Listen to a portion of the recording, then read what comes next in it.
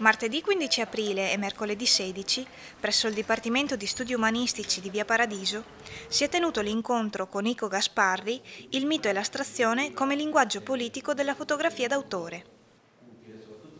Questo seminario è il secondo appuntamento di una serie di quattro incontri organizzati dalla professoressa Ada Patrizia Fiorillo, docente di cultura visuale dell'Università degli Studi di Ferrara. Dopo l'introduzione della professoressa Fiorillo, il fotografo Ico Gasparri, vincitore di svariati premi, ha tenuto il seminario supportato da una ricca collezione di fotografie.